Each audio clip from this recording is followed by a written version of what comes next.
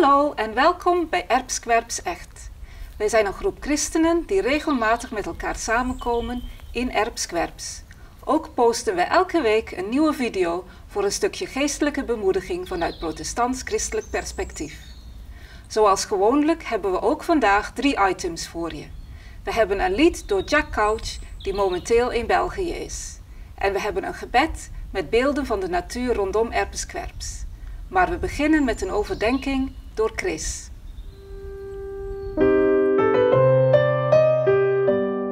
Dag iedereen. Lichtvervuiling is een recent probleem. Op deze foto zie je hoe de wereld s'nachts verlicht is. Toen Jezus zichzelf omschreef als het licht voor de wereld, zag de wereld er s'nachts veel donkerder uit.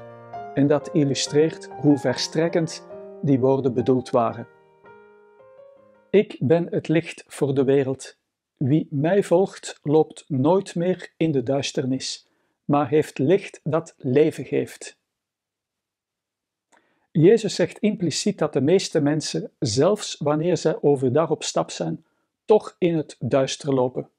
En hij roept hen op om hem te volgen, want dan zullen ze echt zien en zullen ze leven. Dat geldt niet enkel voor het Joodse volk, want Jezus richt zich tot de ganse wereld. Die uitspraak stuitte op veel weerstand. De fariseeën zeiden: Uw getuigenis is niet betrouwbaar, want u getuigt over uzelf. In een andere vertaling staat er: Er is geen enkel bewijs dat u de waarheid spreekt. Jezus verdedigde zich als volgt: Ook al getuig ik over mijzelf, toch is mijn getuigenis betrouwbaar, omdat ik weet waar ik vandaan gekomen ben en waar ik naartoe ga. Jaar geleden hoorde ik een toerist uitleggen wat typisch is voor Belgen. Wat hij zei sloeg nergens op, en als Belg mag ik dat zeggen. Jezus' verdediging lijkt op mijn reactie. Hij zegt dat zijn woorden betrouwbaar zijn, omdat hij weet waar hij vandaan komt. Jezus is opgegroeid in Israël, maar dat is slechts zijn tweede vaderland. Zijn thuisbasis is die eeuwige dimensie van waaruit alles is ontstaan. Daarom is Jezus' getuigenis betrouwbaar. Wanneer hij uitleg geeft over het echte doel van het leven, over onze levenswijze en onze relatie tot God, dan fantaseert hij niet, maar dan beantwoordt hij als God de levensvragen. De fariseer daarentegen was als die toerist die uitleg gaf over zaken waar hij geen weet van had. Jezus weet ook waar hij naartoe gaat, want nadat zijn opdracht was volbracht en hij weer tot leven was gewekt, is hij teruggekeerd naar de Vader. En dat is ook voor ons van enorm belang, want die terugkeer bewijst dat een mens in eeuwigheid kan leven. Wie gezondheidsproblemen heeft, ondergaat soms een scan. De dokter ziet dan wat er fout is binnen in het lichaam. En in het beroepsleven kennen we de audits, waarbij het functioneren wordt doorgelicht en verbeteringspunten worden voorgesteld. Gods licht is als een scan of een audit die problemen detecteert. Want mijn levensstijl, mijn waardeschaal, mijn motieven en gevoelens worden vergeleken met de ISO-normen van het oudste kwaliteitshandboek ter wereld. Gods geest is de geneesheer of de auditor en hij zet zo het werk van Jezus verder. Dat is een levenslang proces waaraan ik zelf actief moet meewerken, door Gods handboek te lezen en toe te passen en open te staan voor correctie. Gods kwaliteitshandboek reflecteert zijn persoonlijkheid en bevat dus hoge eisen. Want Johannes schrijft: God is licht. Er is in hem geen spoor van duisternis. En Petrus concludeert: Leid een leven dat in alle opzichten heilig is, zoals hij, die u geroepen heeft, heilig is. Wanneer je bouwt of renoveert, moet je ook vloeren kiezen. Je hebt vloeren waarop het minste stofje zichtbaar is. Op deze witte vloer zie je alles: heel veel stof, vuile vlekken en ongedierte. De bruine vloer is even vuil, maar je ziet het bijna niet. En vuil is er genoeg niet alleen op de sociale media, maar ook verborgen in onszelf. Gods handboek vermeldt hebzucht, begeerte, afgunst, trots, leugen enzovoort. En daarin herkennen wij ook onszelf een beetje.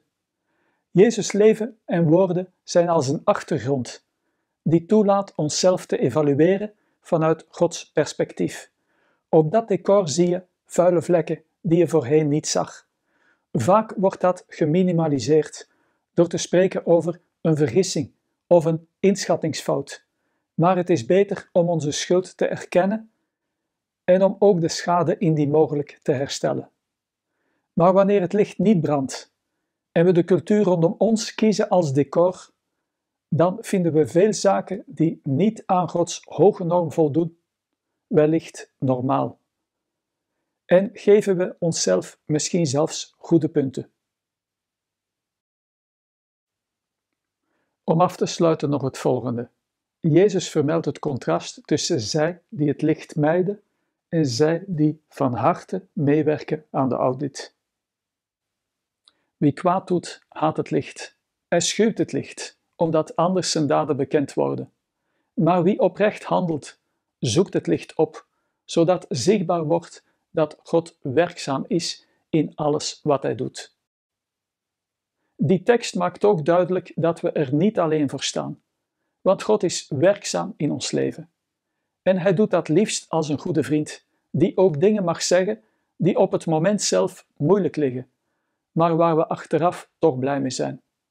Jezus' leven en woorden zijn ons referentiekader. Maar natuurlijk is Jezus veel meer dan een ideaalbeeld of een rolmodel. Hij is het die voor ons de deur opent naar Gods werkelijkheid, naar het Koninkrijk Gods, want dat is de term die gebruikt wordt in het kwaliteitshandboek. Jezus is het licht dat eeuwig leven geeft. Maak kennis met dat licht. Laat je scannen en werk mee aan de audit.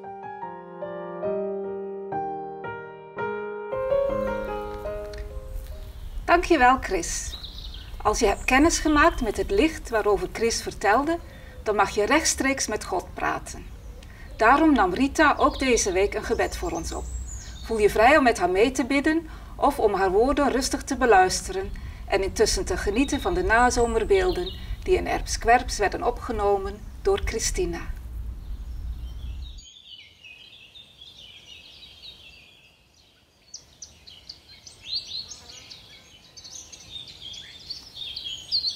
Heer, hoe meer ik tot u bid, hoe meer ik met u praat, hoe inniger onze relatie wordt. U kent mij door en door. U weet alles van mij en toch houdt u van mij. Hoe meer ik samen met u doorheen dit leven wandel, hoe duidelijker de weg voor me wordt. U leidt me bij elke stap die ik zet. U houdt me vast als ik dreig te vallen. En als ik val, helpt u me terugrecht. Als ik roep, antwoordt u. U laat me nooit in de steek.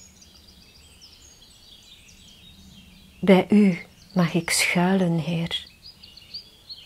Wat ben ik blij dat u mij beschermt.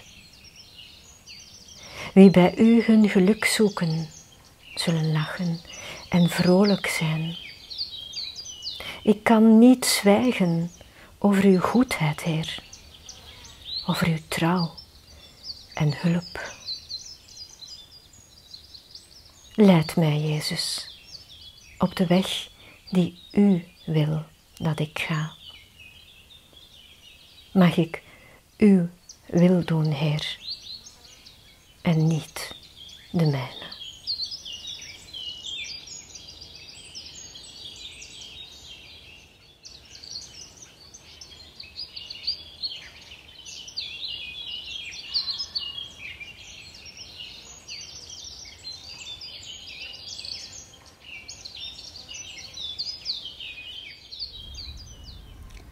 Dankjewel Rita en Christina.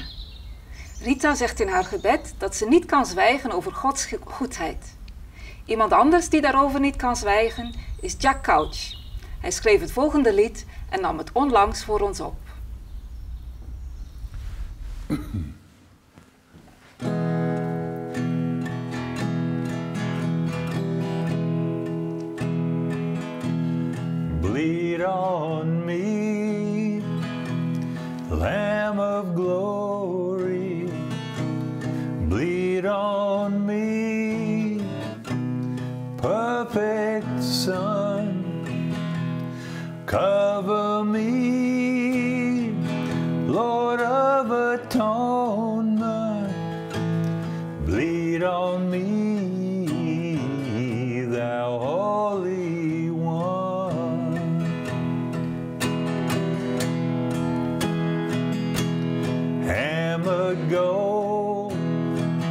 Ark of Jehovah, propitiation still incomplete. Sacrifices at the altar, blood of rams poured on the mercy seat. Bleed on me,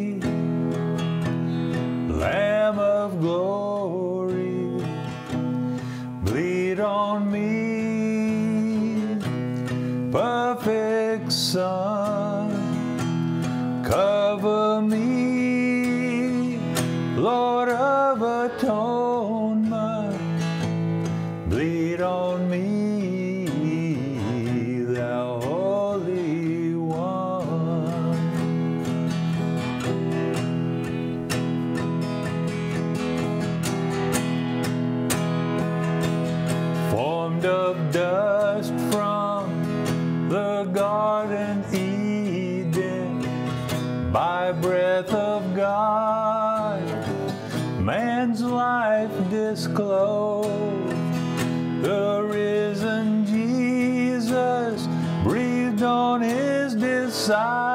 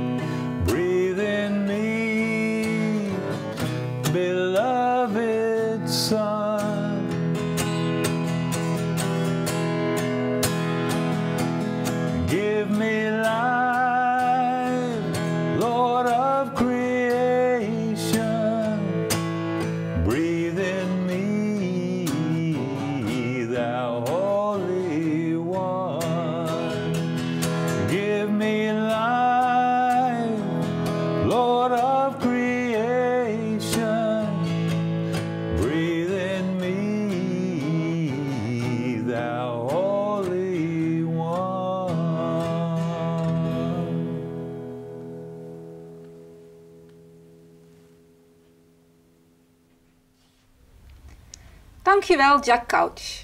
En dat was het voor deze week. Als er in deze video iets is gezegd waarop je wil reageren, als je ons wil vragen om voor je te bidden, of als je eens een kopje koffie met een of twee van ons zou willen drinken en eventueel verder met ons wil praten over het geloof, neem dan gerust contact op. Sinds kort komen we elke donderdagavond ongeveer anderhalf uur in het echt bij elkaar voor een stukje geestelijke bemoediging. Neem contact op als je daarbij aanwezig zou willen zijn. Dan kunnen we je het adres geven en uitleggen hoe je kunt helpen om die samenkomsten zo corona-veilig mogelijk te houden. Ons e-mailadres is contact@erpskwerpsecht.org. We wensen je een goede week toe en volgende zondag zijn we er weer met een nieuwe video vanaf 10 uur op YouTube en op Facebook. Dag!